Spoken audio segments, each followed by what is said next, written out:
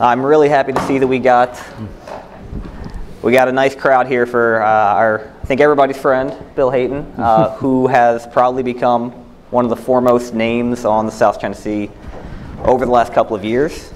Uh, Bill is currently an associate fellow with Chatham House uh, and a journalist with BBC.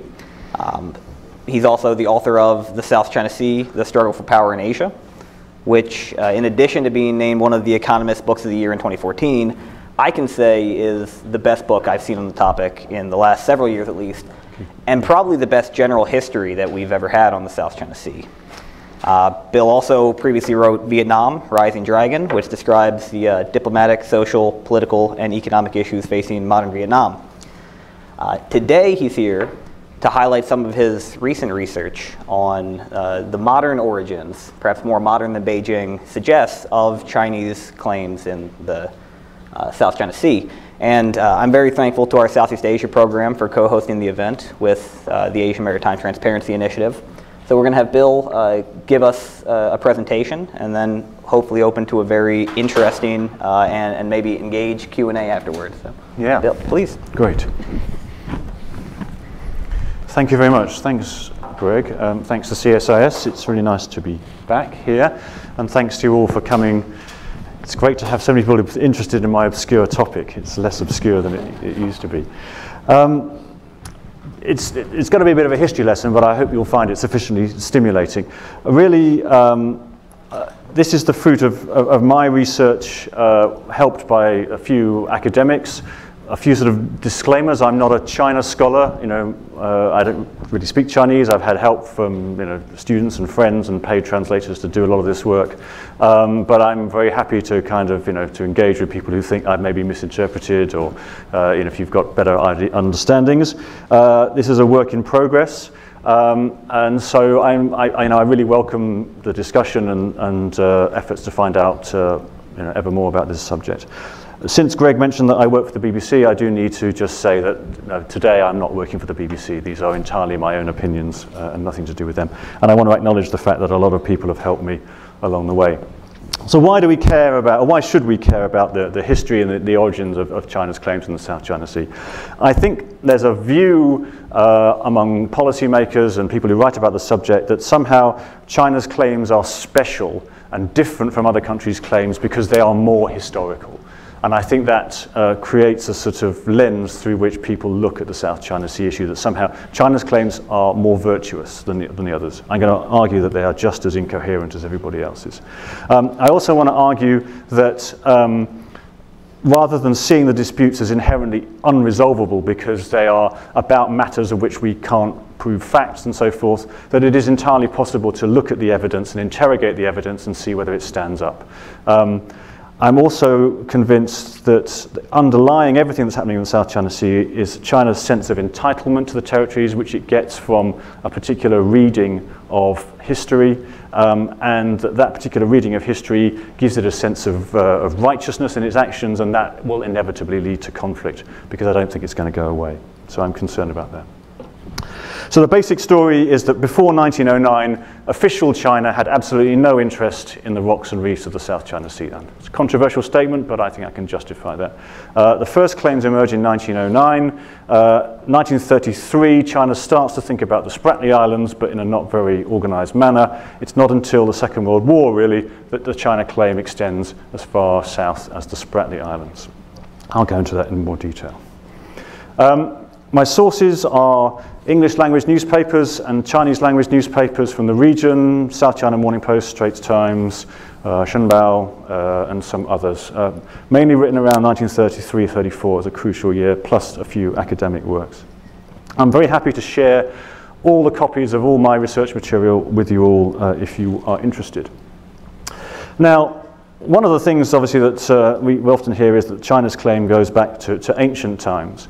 And there's a particular pattern in the use of evidence by, from the Chinese side, which is to take isolated sentences or scraps of information from historic documents and present them as being concrete evidence of claims. And here's, here's one very good example.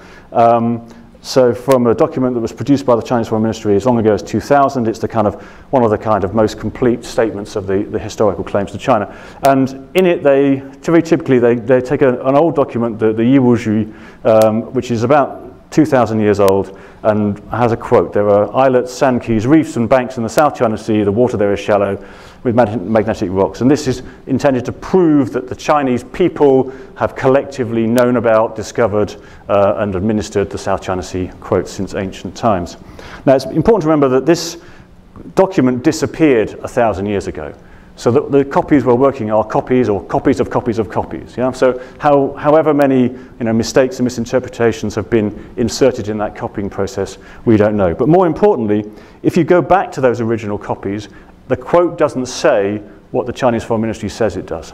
So Johannes Kurz, for example, has written a very good paper which you can find on, on academia, uh, looking at some of these old documents and what they actually say. So this is, the, this is what it says. Foreign, and it, the Chinese Foreign Ministry has, has, removed the second sentence, which says foreigners reinforce their big ships with sheet metal. So this is not a statement saying the Chinese were using, were going past this place, but that foreigners were going past this place. But that's removed from the Chinese account. Okay, and also it doesn't mention the word South China Sea, it just talks about the sea. So that's a, you know, a, a gross misuse of, of historical evidence, which we can clearly, clearly see there. Uh, this goes all the way up to the uh, to more modern uh, claims. So there's a claim, for example, that in 1876, the first Chinese ambassador to, uh, to, the, to the UK claimed the Paracel Islands. It's not what happened. He kept a private journal, which he used to then inform the Qing court about uh, the things that he discovered on his voyage to Europe. And in that private journal, he wrote about sailing past the Paracel Islands. Interestingly, he doesn't use the word Xisha because the word Xisha hadn't been invented.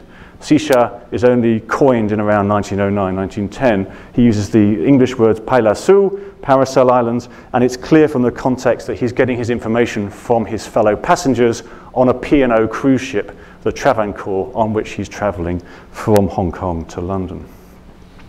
So, 1897, a map of uh, Guangdong province and Hainan, no need to mark any islands. They're not part of the concern of the Chinese authorities.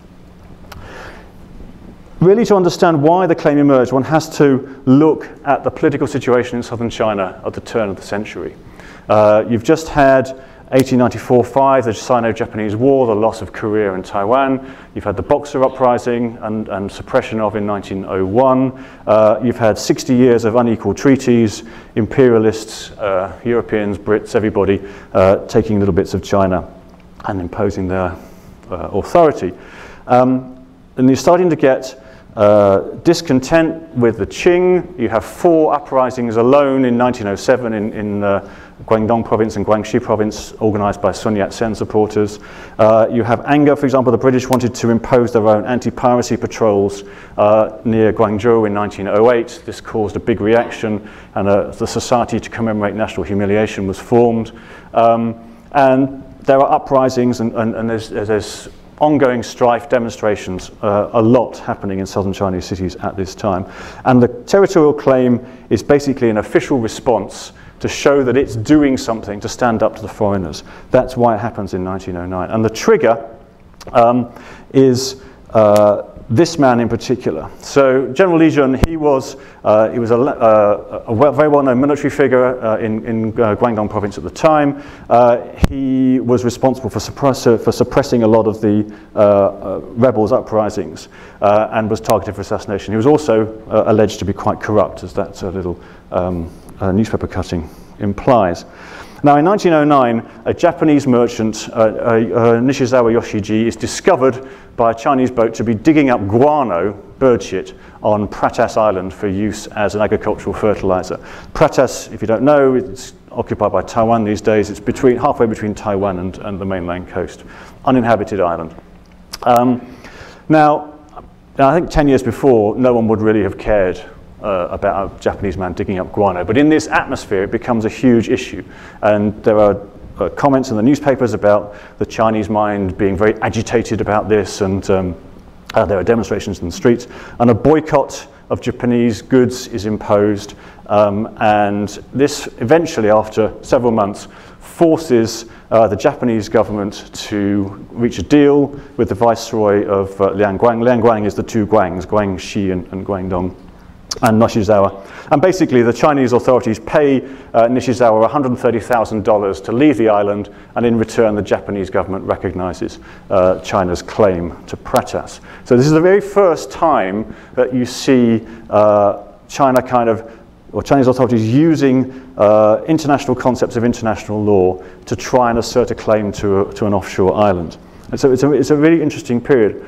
Um, and what uh, is really going on here is a sort of sense that the Qing are suffering what one might call these days a legitimation crisis, that they're being accused of not standing up to the foreigners. Here is a moment when they can stand up to the foreigners, and they pay them a lot of money, but they kind of they fly the flag and they, they, they win the, the dispute.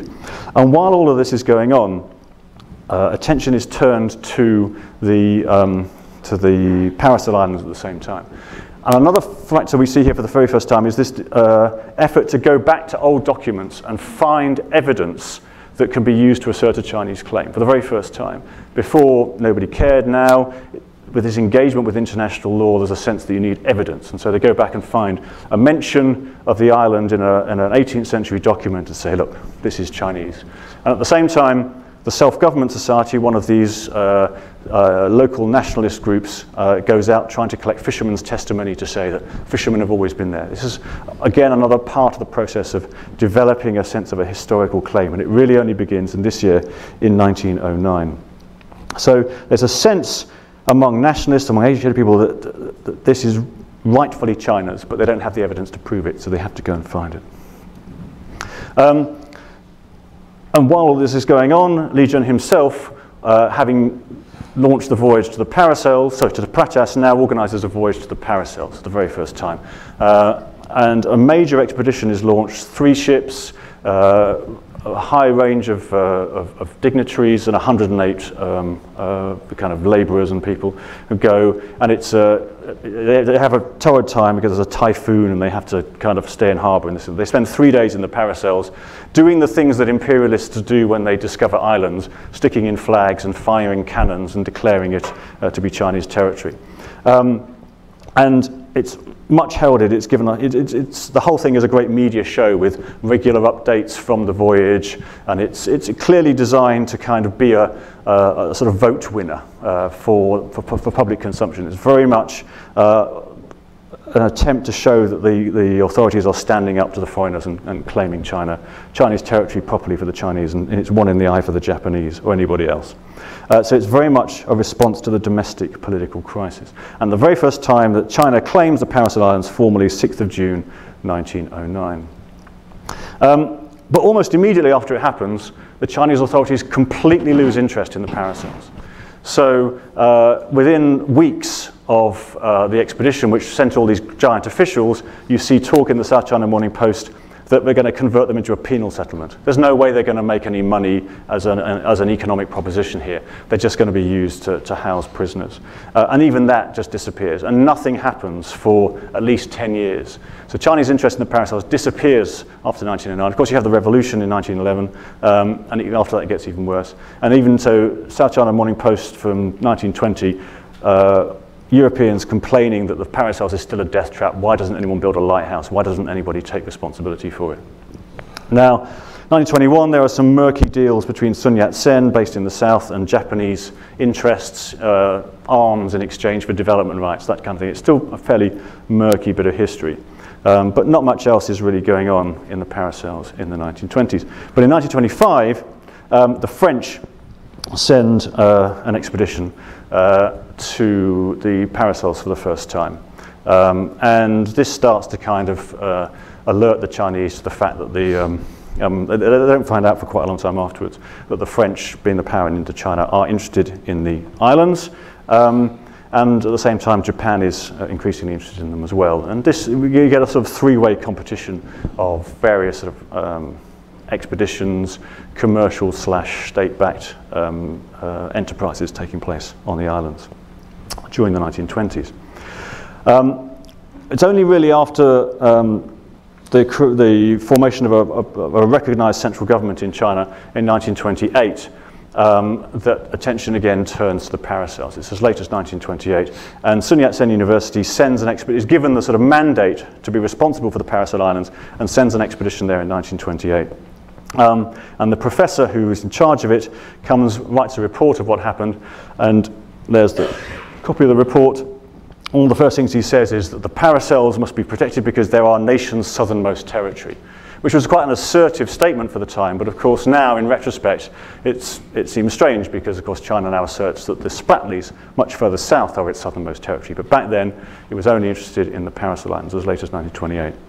And again, another set of uh, history writing, this guy Chen Tianxi, who's a, a, a Kuomintang member, is tasked with writing a kind of history of the Paracel Islands, going back through old documents, finding sentences and things which uh, bolster the, um, uh, the, the, the, Chinese claim. A sense that has to be presented uh, in a kind of legal manner. Now, it's worth just putting this in the context of China's general anxiety about its borders at this time. And this is something I get from William Callahan's book. The very first map of the Republic of China had no borders on it because there was a sense that uh, foreigners had stolen land from China and that it was, an, it was an unanswered question as to where China's rightful borders should be. So, for example, in this map, Korea and uh, Indochina are referred to as formerly our vassal, a kind of ambiguous status. Should we claim them? Should we not claim them? Uh, in a land obviously been uh, taken in, you know, uh, by the British, by the Russians, by the Japanese.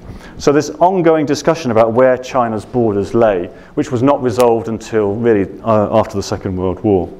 And in the interim, individuals and private organizations and uh, geographers in particular uh, start to try to answer the question in their own way. So, for example, there's a whole uh, industry of producing these maps of national humiliation showing how, how much land has been stolen from China by the foreigners over the last century or two. Um, I've, I've used this map before. And they list these, these concessions. And you see the line, the blue line is kind of the idea that this is rightful Chinese territory which is clearly a, um, a, sort of a reading of history, which is that these places, for example, the Sulu Sultanate down uh, uh, in, in uh, Malaysia, what's modern Malaysia, Philippines now, um, used to send tribute to the emperor, and so this was rightfully part of the Chinese empire, and maybe it should be part of the Chinese you know, state again someday. Now, the, the islands of the South China Sea, and even the East China Sea in this case, are only really caught up in it because the, of the need to make the line continuous. They're not a specific focus of this, but they become caught up in it later on. So, and sorry, this is, the, um, this is the most intense bit of history, and I just thought I'd shove it all on one slide to, to get it out of the way. It's complex, okay? So, October 1928, Chiang Kai shek's government is established uh, in uh, one central government after the kind of warlord fighting era partly to, well, really to try and resolve these questions about where China's rightful borders are, uh, the new government imposes or, or, or, promulgates new regulations saying that all the maps have to be inspected so that they all say the same thing. Now, this in the past has been treated as if it's some kind of um, sub-editing exercise. It was simply a question of tidying up maps. But I think this is absolutely fundamental. I think this process of regularizing the maps was actually about defining China's territory. And it's surprisingly unstudied, this process. And it really needs an expert in Chinese history to go and look at exactly this process. Um, at the same time, of course, you've got the Japanese invading Manchuria, things getting really nasty in the, in the northeast. Um, so it's not surprising that the Chinese government has other things to think about other than the French government uh, protesting against its plans to develop the guano industry and the paracels. Um, it's also vitally important at the same time that the factions inside the Kuomintang who are opposed to Chiang's rule all converge in the south on Guangzhou and set up a rival Chinese government, the Southwest Political Committee down in the southwest, um, uh, which basically spends most of its time just denouncing everything that Chiang Kai-shek does uh, in Nanjing.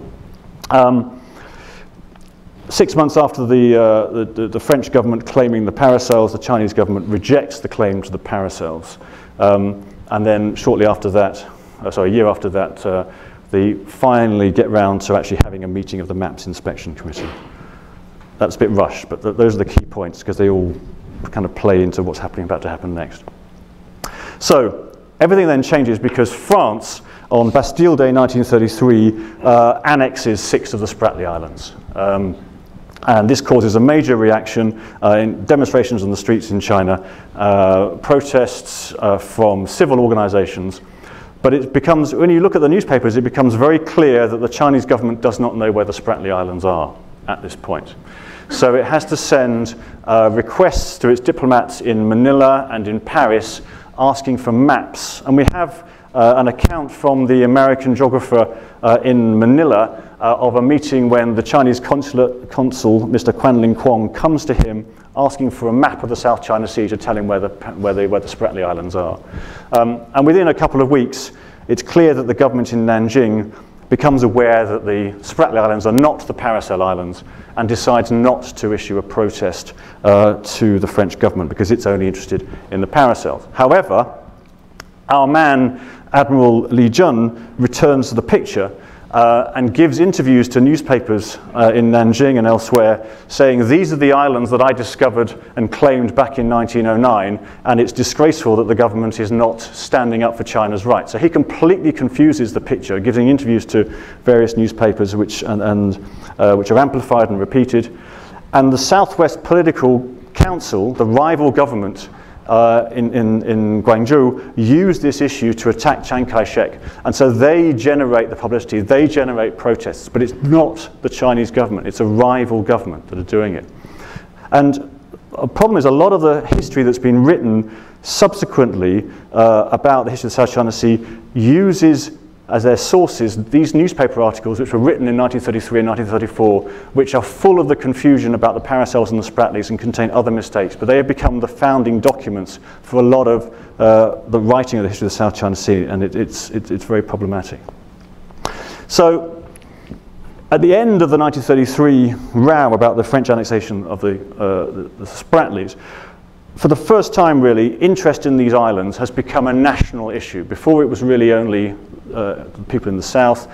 Here it becomes everybody in Nanjing. You get big protests. Um, it's really a kind of anti-imperial, anti-French, anti-Japanese to some extent uh, campaign. Um, and these newspaper articles are really critical for spreading ideas about who owns the South China Sea. And it's also important to remember that the Chinese government, the central Chinese government, does not think it has a claim to the Spratlys in 1933, and its military council, military committee, uh, agrees that it's not going to press a claim. And then the Foreign Ministry um, uh, Gazette publishes an explanation for the Chinese reader who bothered to read it about why these islands are different and why China is not going to claim the, uh, the Spratly Islands in 1933. However, the Maps Inspection Committee continues its work. And one of the first things they do is um, in the South China Sea is produce a list of names, Chinese names for the features in the South China Sea. And this is important because it shows you about the sources that they're using. And if you can read the Chinese, you'll see that this initial list is simply the translation or the transliteration of the existing British slash European names. So, for example, Spratly Island is simply transliterated as Sibalatuo. Yeah, Spratly. One of my favorites is um, uh, Money Island, Jinyindao. It's the Chinese word for money, Jinyin, but it's actually named after a British, uh, a manager of the East India Company, William Taylor Money. They, they just took his name and, and, and translated it. Um, and this causes a number of problems. Now, what's interesting about this is there was no Chinese surveying work going on, and because there are mistakes in the committee's list which match mistakes in other lists, I can pretty much be sure that the committee copied this British list from the, South, from the China Sea Directory published in 1906. Using Google Maps, you can, it's our Google Books, you can simply kind of trace the misprints. And only this one has the same misprints as the Chinese list. So they copied this British list in 1906. Um, or it was published in 1906. Um, and then in April 1935, the same committee publishes a map of the South China Sea with all the names in place. Now, it's not clear to me that China is actually claiming everything on this map. Because, for example, they've just they've created Chinese names for places in the Philippines which are not part of the, of, the claim. It's simply a, a, way of regularizing the maps at this point. I'm, I'm open to, to, to, to, question on that point. But even as late as 1935, there still seems, seems to be no claim to the Spratly Islands. And in fact, the Spratly Islands are called the Tuansha, the chaotic sand. James Shoal is important because it appears at the very, very bottom of the map down there. Um, and it's given the name Zengmu Tan by the, uh, by the committee. Zengmu is simply the transliteration of James, JM. But tan is interesting because tan means sandbank, a land feature, which it's not, it's underwater.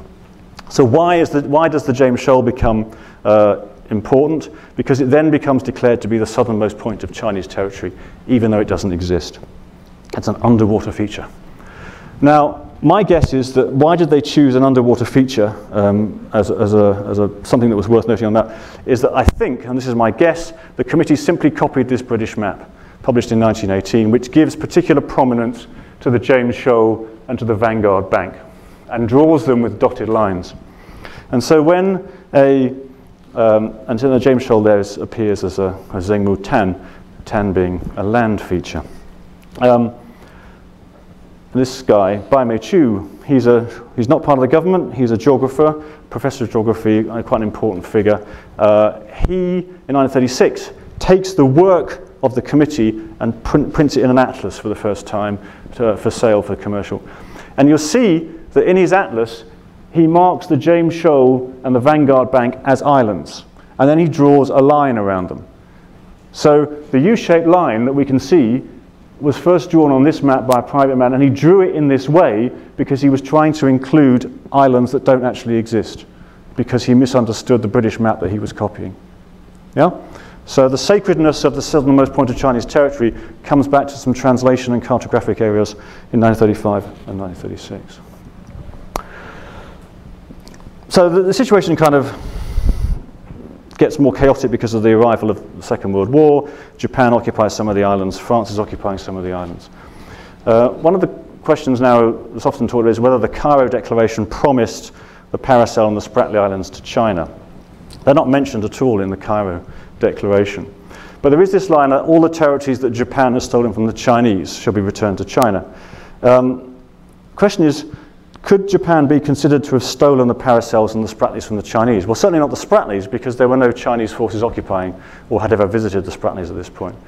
Paracels depends whether you think that they were rightfully Chinese or not, because again, there were no Chinese forces there, but a claim had been made. There were definitely French forces occupying some of the Paracels uh, before the Second World War. So the Cairo Declaration is a very ambiguous document on that point. And the uncertainty you can see even in a, this is the China Handbook published immediately after the war, uh, Ministry of Information document describing the country to, for foreigners. And you can see even there, the Spratlys are still known as the Tuansha, not the Nansha. Tuansha is chaotic sand. It's a translation of dangerous ground, the word that appeared on uh, British and other international maps. And saying basically th this territory is disputed between China, the Philippines, and, and Indochina. It's these guys who were geographers Importantly, they are both students of Bai Mei Chu, the guy who drew the U-shaped line in 1936. Um, they are geography professors. They go off to Germany and Japan in the 1930s to study geography. What kind of geography do you learn in Germany and Japan in the 1930s? Probably not the best sort. Um, and um, they come back to China with a determination to try and define the country's borders, and they are seconded to the Ministry of Interior to actually formulate once and for all where China's national boundaries are. And, uh, and Zheng himself, in his naval captain there, he goes on the very first Chinese expedition to the South China Sea in uh, late 1946. Uh, these guys, uh, and in the meantime, the Philippines gets independence and uh, the Foreign Secretary makes a claim on the, on the Spratly Islands. That kind of adds a sense of urgency. It also a sense of urgency because the communists are regrouping and there's a sense that the nationalists have to, to defend uh, their national legitimacy. Now, the 25th of December um, on 1946, there's a meeting in the Republic of China Ministry of Interior uh, where they sit down to consider which parts of the South China Sea, which territories they are going to claim as China. And those two geographers there draw up this map. Uh, this is the very first time that a U-shaped line, nine dashes, or however many dashes it has, appears on a state document produced by China. Before they appeared in private documents, this is the very first time an internal document uh, for a meeting then.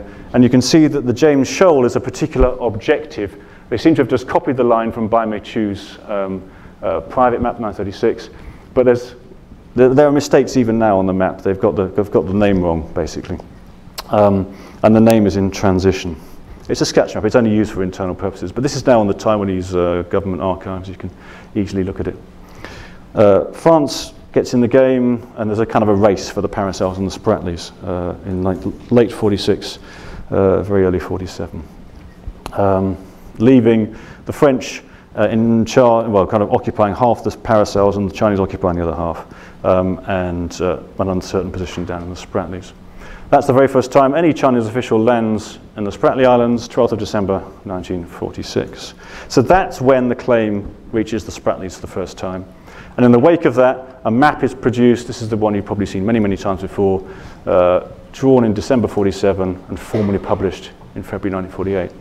Um, now, and again, we have the issue that the, you know, there's still a lack of clarity about the, the James Shoal. Its, its name is still being translated. The word ansha appears to be invented at this time uh, to be an equivalent for shoal because they've recognized that tan is not the right word for shoal in this context. Um, so, the claim is not ancient, but modern. It developed in response to political crises. In 1909, it was about standing up for the Qing against the rebels. In 1933, it was about the Southwest Political Committee standing up against the government, central government in Nanjing. In 1949, it was about the nationalists standing up against the communists. Um, elite knowledge about the sea was pretty minimal, but then expanded southwards during the 20th century. So therefore, the claim itself is not a natural thing, but the result of particular circumstances at particular moments in the 20th century. I'm happy to take questions. All right, thank you very much.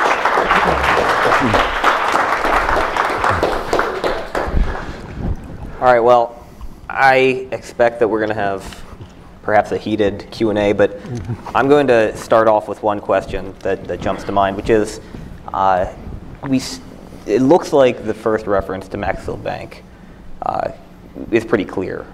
I didn't see at what point Macclesfield Zhongsha was expanded to include uh, Scarborough Shoal, Huangyandao. Mm. Yeah, uh, that's a good point, actually. Um, I mean, because the, the, naming is interesting because the, the, as far as I can work out, Pratas appears to be called Dongsha, Eastern Sand, uh, well before this. It's known as a fishing location. But the word Xisha, West Sand, seems to be coined in 1909 to be an equivalent to Dongsha. You have East Sand and you have West, now we have West Sand. And then Macclesfield Bank appears as Nansha, southern sand, uh, initially, because it's a sort of, you know, a triangle. Um, and then it's only in 1947 that the Nansha is moved south to become the, to become the Spratlys, and then a new word, Zhongsha, central sand, is coined for Macclesfield Bank. Um, and I mean, there's, no, there's simply no mentions of Scarborough Shoal in any of this as far as I can see. And I think it's interesting that after the arbitration verdict came out, uh, China, the Chinese government put out a new white paper about its claims and couldn't identify in that, as I recall, a single piece of evidence in favor of a Chinese claim to Scarborough Shoal. It would, could talk about maps of the Nansha Islands or, ma or, maps of the South China Sea Islands, but it couldn't say anything at all specifically about uh, Scarborough Shoal.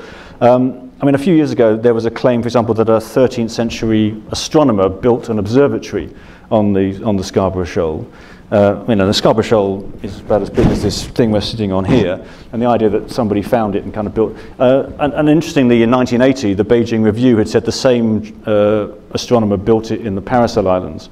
So he's a very useful astronomer because he can be moved around the South China Sea to kind of claim things 700 years later. So yeah, so there's, there's simply no you know, discussion of the South. I mean, even the name, I mean, the Chinese name uh, for Scarborough Shoal is, is Huangyan, yellow rock. But that name was only given to it in 1983. You know, uh, in 1935, they simply transliterated Scarborough as Sigo Baolo, and that name, uh, and then in 1947, the nationalists gave it the name Minzhu, uh, I'm, excuse my pronunciation, Democracy Reef, and then in 1983, the communists thought that Democracy Reef sounded wrong, so they called it Yellow Rock. All right, let's open it to questions from the floor. Mira? Can you grab the mic? We have the webcast going. Thanks. Thank you so much for a really terrific talk today. I have about a million things I'd love to ask you, but I'll limit myself to one question. Uh, you showed us the fact that the 9-line would appear to have its origins in the map of a private individual in the Republic of China. Uh, but one thing I noticed about the transition from that being privately drawn with its errors uh, originating with the British map to the ROC official map that was uh, finally published in 1947 is that that's when we go from a solid line to a dashed line. Was there anything um, in your research about the 1946 to 1947 period that suggests why, following the scramble for the paracels, the line became dashed when it was finally drawn for official records? Um, I'm going to use uh, some work that's done by a, a Canadian PhD student uh, called Chris Chung, who's studying his PhD at the University of Toronto at the moment, and he's been looking at the minutes of the those meetings in 1946-47, and it seems very clear from from what he's found is that this uh, they were discussing which islands to claim. There was absolutely no sense that they were trying to enclose sea in that, and so it, it simply, uh, I mean, it's it's there, I guess, using the geographical convention of the day trying to show uh, which islands are being claimed. So it's no sense that it's, it's trying to enclose. Um, you know, why Bai Mei Chu chose to use a, a solid line is not clear, except maybe he's just following the tradition of those earlier maps of national humiliation and sort of, you know, drawing a big line. That, that's all I, all I can guess. No And Mara, thank you for your service, as they say in these things. Thank you, Bill, for your great, talk. sorry, I just wanted to say, Mara, you've done some fantastic stuff on this issue, so it's, uh, you know, it's great. Thank you, Bill, for your comments. Very informative. I'm David Rosenberg from Middlebury College in Vermont. Oh, yes, you have a very good website. And uh, since we've raised the question of dashes, I'd like to ask you a little bit more. You showed us the 11 dash line, now the 9 dash line, or some would say the 10 dash line. But what was the reason for the switch, the removal of the two dashes in the Gulf of Tonkin? Well, I mean, the, the story that's usually told is that this was a, a deal between the communist uh, brothers in China and the communist brothers in, in Vietnam. This is obviously before, this is 53, so it's before there's a, you know, a communist state in Vietnam, so it has to be some arrangement between communist parties, one assumes. Um, I mean, I haven't looked into it in, in great detail as to why they took it out, but I mean, it, in the end, it advantaged China ultimately in terms of the final um, uh, uh, settlement that was agreed in 2000. Um, I mean, at the end of the uh, Sino-French border war in 1887, there was a, an agreement, you know, the Sino-Tonkin agreement, which specified, um, you know, kind of a particular line that would, you know, run basically north-south from where the, the land border ended, and that all the islands on that side of it would be Vietnamese, and all the islands on that side of it would be, would be Chinese. But when you actually look, and I, I have it on my laptop, the actual map that was attached to it, it's clear that it's not intending to kind of divide up the South China Sea, you know, because the actual scale of the map is only talking about islands which are about 100 meters offshore. Um, it's not intended to refer to anything outside the, the Gulf of Tonkin. And in fact, when Vietnam and China came to negotiate their boundary in the 1990s, they, they threw out that definition of the line um, and they started afresh uh, with, with, a, with a new set of things. So, um, precisely why the Chinese thought that was a good idea, um, I'm not sure. I don't know if anybody, I mean, do you know? But- domestic or international? I, I- think it was about international solidarity because there was also, I mean, I'm stretching now, but there was a, for a time, the Vietnamese lent China an island to kind of look after for a bit during the campaign against the French to kind of, you know, sort of protect it from being occupied by France in the, in the Revolutionary War, if you like. And then the Chinese kind of gave it to them back in the 50s. So that may just have been part of these sort of, you know, these tactical things which were agreed between two fighting communist parties at the time, I think. But I'm speculating. In the back? Thank you. Uh, thank you so much. It's a very interesting um, presentation. So it seems that the Chinese government is also adding the historical rights uh, in the present period with regard to its claims in the South China Sea. So I was wondering, in your research, uh, are there mentioning uh, any mentioning about the historical rights, for example, fishing rights, etc., during the ROC period or even before, such as in the Ming Dynasty or in the ancient Chinese times? Thank you. I can't find any mention of hi- historic rights before 1990 um, in terms of uh, rights to fish kind of in, in the, within the U-shaped line. And from my rough research, that whole idea seems to come out of Taiwan in the early 1990s and is then perhaps picked up by the mainland. Um, and I think it's an attempt to try to square the Chinese claim with the emerging doctrines coming out of UNCLOS, which we obviously agreed in 1982, and the recognition that UNCLOS wouldn't support some of the most expansive claims um, that were in the U-shaped line. Um, and I mean, there are, you know, kind of legal bases for claiming historic rights, but they are very limited in terms of you know, historic bays and, and this kind of thing. And there have been agreements between countries in the past. I think the UK and Norway have some agreement about historic fishing rights, for example. And you see those being deployed um, uh, in these kind of arguments. Um, but no, there's, I mean, there's very much, there are lots of discussions about the fact that Chinese fishermen use these islands and that that makes them Chinese, that's for sure. But they're only talking about the, um, uh, the islands themselves. They're not talking about rights in the waters around them. Um, that might reflect you know, the fact that uh, you know, the relative lack of sophistication of, you know, kind of international legal thinking in China at the time, or just the sense that, you know, the sea goes with the land, and so therefore if they're ours, we ought to have the sea around it.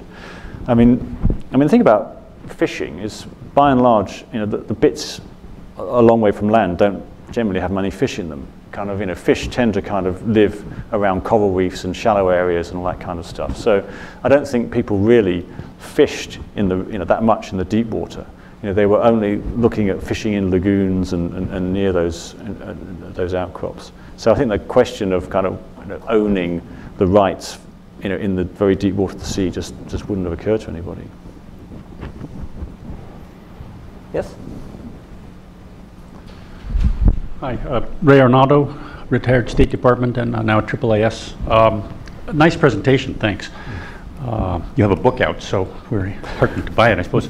Um, simple question. You mentioned uh, the history of the Chinese claims and then a couple to the French claims. Has anyone else in the past made any claims to islands in the South China Sea? The, uh, the Philippines, um, the Brits? Uh, the Brits. We were there first. It's ours. 1877, uh, I think, was the British authorities in, uh, in Labuan, Borneo, gave, you know, gave the rights to claim it to a, again, it was guano that was the motivating factor. Uh, but then, like everybody else, did nothing to maintain it. And so uh, never formally rescinded the claim, but I don't think anybody's thinking that they will make a big thing of it now. Uh, I think technically France, is, France claimed the Paracels on behalf of Annam, and so that claim would have then passed to, to Vietnam but it claimed the Spratlys on behalf of itself. Uh, and so it's kind of ambiguous, although it, it, incorporated the Spratlys into a coastal province of Vietnam uh, for administrative purposes. But I mean, you'd need to be a, a, lawyer probably to argue whether, you know, whether the French claim was passed to Vietnam uh, independence in 56, Republic of Vietnam, South Vietnam, or whether it continues in their own name. Japan obviously claimed them, but at the end of the Second World War, Japan kind of said no more. Uh, now, the Philippines one is interesting because, of course, Philippines was uh, under American rule during the first Spanish and then American rule. Um, but there are plenty of acts that were taken, you know, during those periods, administrative acts, you know, anti-piracy, um, you know, kind of making maps, that kind of stuff, uh, which the Philippines could maybe claim. And obviously, one of the first, as I showed, one of the first things they said after independence was that we claim the islands, but they didn't uh, go and stick a flag in any of them uh, until much later. Uh, so the uh, the story that I mean, I, I, wrote about it because initially started to write about it because I just thought it was funny and uh, was was Thomas Cloma, who was a Philippine shipping entrepreneur uh, in 1956, went and claimed the Spratlys for himself as his own country called Freedom Land, um, and and then when Marcos got interested in the oil possibilities in the 70s, uh, Cloma popped up and said, actually, they're mine, whereupon Marcos stuck him in prison until he signed them over to the Philippines for one peso. Um, and until recently, the Philippines' claim was slightly based on the fact that Cloma discovered the islands in 1956. Thankfully, they've got a slightly more solid legal footing now. Um, but uh, there are, I mean, there are, and there have been sort of other individuals who have attempted to claim the islands for themselves. But um, I mean, really, I think it's fair to say that in terms of sort of permanent presence, the Philippines only really got in the act in 1970, um, or, or, thereabouts, um, as a state. Vietnam, Republic of Vietnam, partly in response to what Cloma was doing, uh, sailed around and stuck flags in some of them in 56. Taiwan also came back, having left in 1950, uh, in 56. Um, so this is one of the things that one could try and unpick is that um, if, if, you, I mean, fair, it wouldn't be that hard, I think, with a bit of research. You could work out which state stuck their flag in which island. And if you disaggregated the lot and stopped talking about the Spratlys, the Paracels, and you started saying, what about Itu Aba, what about Thitu, what about Spratly, what about this, you could fairly, I think you could pretty much work out, you know, Taiwan has had a fairly constant presence in Itu Aba for the last, you know, kind of, you know, 70 years. Vietnam, but they haven't had a presence anywhere else. You know, Vietnam has occupied Spratly Island, Philippines has occupied Thitu Islands, and as far as I know, they haven't been occupied permanently by any other powers. So you could probably sort of, you know, I don't know what other people think. You could probably resolve it like that if everybody just agreed, you know, chill out, let's just have what we have, and you know, it'll be fine. Yes.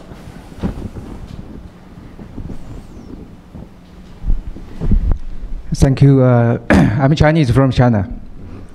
Yeah, uh, from Shanghai, actually. I'm a reading scholar at GW, and uh, I'm not specialized in international law. I'm specialized in international and foreign policy. Your conclusions here, you made the very remarkable, very, uh, you know, any sounds similar like, you know, some evidence China claim in modern time. But from Chinese point of view, in many, you know, it's, it's to be, you have to look at back to the history. Uh, your conclusion here, one, I cannot agree with you because you, you said claim development, uh, development in the response to domestic political crisis is in the 1930s. How do you think about the China in the, in the transition of the two centuries, from 19th century to 17th century? China is not a modern country. China, in Chinese people, because I'm, I'm doing international relations studies, in Chinese people, young students, actually in the 19, particularly 1930s, nobody had the idea of sovereignty. It belongs to the you know, Qing dynasty, the Qing family. So when you talk about the Nanhai, uh, how Vietnam, Philippines, everything, all these things is, is uh, connected with Qing dynasty. So nobody said it's ours because it's ours. So when the after the World War, you know, World War One, before you know the many you know foreign we call it the Western invasion to China. China many claim you know saw you know the, the land because was you know split by similar like particularly Japan, Taiwan, many even even German you know Shandong Peninsula you know was was was there you know. So it's many problems when China is so weak how China do that is ours because we cannot find, tell because it's ours. So in the 19, uh, when you said the domestic political crisis, yes, I agree. It's, it's, I think it's in the Kuomintang uh, government, it's wrong with the political, because many people said we're anti-Japanese, we're anti-foreigner because we should protect ourselves. Now we realize we are modern, we know sovereignty. So that from that time, I think you partly agree with you this domestic political crisis response from the government. But how do you, you know, can you back to the another maybe 30 years back to the 1960 or 1980, even even the the, the uh, eight we call it eight countries, you know, particularly during the uh, uh, the the Boxer Rebellion period we are doing in China, many people really think the domestic affairs, how who, who control the country, become a modern country. So Sun Yat-sen is doing the first. Then Kuomintang, Jiang Jieshi and Mao Zedong civil war, then anti-Japanese war. So this for 40, 30, you know, for the 50 years, China is doing this domestic war. How China have the capability and the idea of the sovereignty over South China Sea. So this is groundless when you say that this claim develops that just not ancient but modern. I cannot, from Chinese, maybe I think Chinese do agree with you because it's different logic. We have to look at the history. I, I cannot uh, give any evidence for, uh, my I- your, because you are international law do Need to wrap it up. Yes. Mm-hmm. So I, that's my experience. I should have. A, I think we should have a Chinese voice here. Thank you. Great. I mean, I think this is what's fascinating. I mean, is you clearly feel it and you believe it, yeah. And I, and imagine an awful lot of people like you feel and believe the same way. But a hundred years ago, you wouldn't have felt that, yeah. That it took it, but because because you because that's that's what's interesting about these newspaper articles. When you read them, they are educating a population about a claim that they don't know that they have. And so they're actually generating a claim in the minds of the readers. You know, these are Chinese. Why are they Chinese? Because we found this sentence in a document which tells you that. But these people, but the people reading the newspaper didn't know. They, they'd never heard of these islands before. You know, these islands were the places where pirates roamed and smugglers and things. They were places, you know, that one feared. One feared to go past them if you, if you sailed them. You, you wanted to keep the pirates away from your shores. There was no sense that these were places that one would want to, you know, fight for or anything like that. It's only in the context of, uh, you know, as you say, the Germans and the British and the French and everybody else uh, stealing bits of China that it becomes an emotional issue. Otherwise, you know, I mean, frankly, if, the, if, if, these islands didn't exist, no one would care, really, would they? It's only because they exist and then they become a kind of test of strength and patriotism that then they become a big issue between the powers. It's, so what's interesting for me is kind of that, is almost a sort of psychological thing about how people learn to care about these islands when they didn't care about them before as you so quietly demonstrate. I mean, the fact that every single eighth grade Chinese pupil is taught, you know, that the James Shoal, the Zengmu Ansha is the southernmost point of Chinese territory, is a deliberate decision by the Chinese government to do that. Okay, how are they going to get themselves out of that mess? You know, why are you claiming a piece of, uh, of sea as, as territory when it's not territory? And just, just to bring this up to date, uh, for example, people are worried now about uh, or some people in this town anyway, are worried about whether China might declare an air defense identification zone, an ADIZ, okay, around the Spratlys. James Shoal gives China a big problem because China has a choice. It's either going to try and bring its claims closer into line with international law and draw lines around island features, you know, Spratly Island and Itu Aba and whatever, and say this is our ADIZ, uh, or this is our, these are our straight baselines. And if it does that, it can't draw a line around James Shoal because James Shoal isn't an above ground feature. Yeah? So it has a choice. It either uh, includes a non existent land feature in its straight baselines, or it excludes what a billion Chinese children have been taught is the southernmost point of Chinese territory. Now, that might seem a rather obscure thing, but I bet it's the kind of thing that bothers people in Beijing. You know, people have been brought up on this sort of sacred text. So yeah, you feel emotional about it, but it's that in itself is an interesting question about why you feel emotional about it. And I think it's because you've been taught to feel emotional about it. Take the red pill. Don Emmerson? Uh, Don Emmerson, Stanford University. Uh, I wonder, Bill, if you could look back on your research and ask yourself this question. In the light of your research, was the decision of the arbitral court on the 12th of July suitable, not suitable? They really made what, in many eyes, I think was a radical statement that nothing in the Spratlys is an island. That has implications for the future, both for Taiwan, especially with regard to Itu Aba, because I think many people expected Itu Aba would be the one case where there would be an island with a 200 nautical mile EEZ. So from your standpoint as a historian, could you evaluate the court's decision and its implications? Thank you, John. Uh, I'm a geographer and I make no claims for history, but they, um, I mean, it, there are no records of any settled communities on any of these features ever.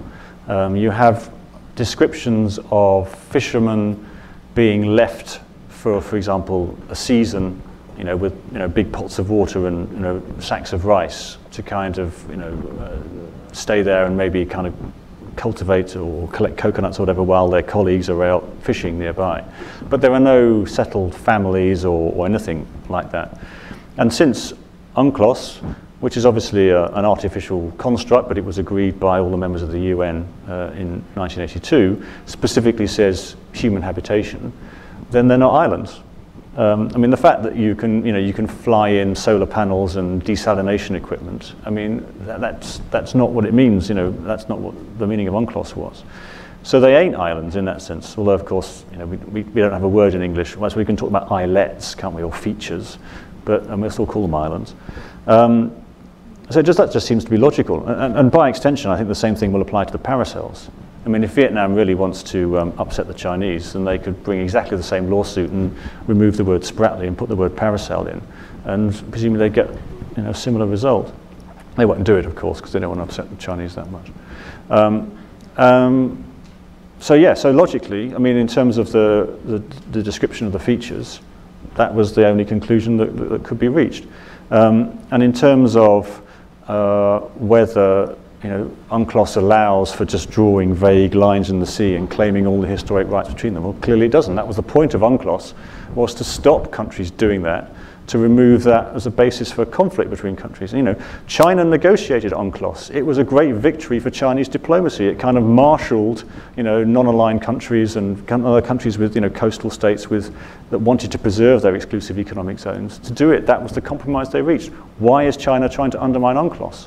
I don't understand. You know, the, the ruling said absolutely nothing about sovereignty, other than you can't claim sovereignty you know, in wide, wide areas of sea.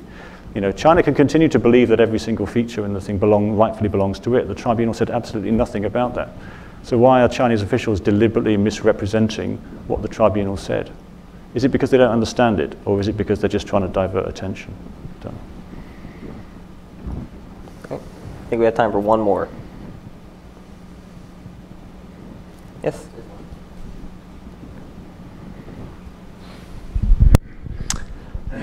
Um, my question will be: um, Every government is trying to use the media to educate, um, to or influence uh, the public and their people. And how do you feel as a journalist? And um, how how do you think? Um, how can the media um, be objective and uh, help to help the people to understand what really happened and what is the truth and not just increase the tension. Uh, and by the way, maybe there's an, another part of the question is uh, you mentioned about, I point out a lot um, um, that China misused the historical evidence, but how about the other countries? Because for, I think for, for me, I'm a Chinese, and for some other Chinese uh, who are here or watching your presentation will feel, wow, there's a, a British and, and just they are trying to just talk about the misuse of the hi historical evidence. Mm. Mm -hmm. Can well, you explain that? For once, the British aren't trying to grab territory in Asia, so you know, hopefully we can be a bit more neutral about that. Um, but the, I mean, I mean, the question you raise is a kind of massive question that faces all journalists, really. I mean, there's a thing called truth, you know, and, and what I mean, if you want to to, if you want to communicate to an audience the story of the South China Sea, where do you start? Do you start 2,000 years ago? do you start yesterday? You know, kind of how much can you actually convey in any kind of description of the problem? Yeah. Um, there's always a balance between, you know, the attention span of your audience. You know, obviously you lot are prepared to sit here for an hour and you know talk about the history, you know, for that for that time, but you are a very small fraction of the television or radio or newspaper or web audience. Yeah, most of them just want to know, well, so so what? Um, and in, when I first started writing about this, it was common to, for people to say the South China Sea matters because of all the oil and gas under it. But that's not really why the South China Sea matters. That matters to, you know, it's part of the story. You know, so the story has shifted to it's all about the USA versus China and the kind of who's going to run the world kind of stuff. And that's an easy line for journalists to hook in an audience. Yeah, um, and but also it's you know as far as the Philippines or Vietnam was concerned, it's not really about that either. Well, I think that's part of the story.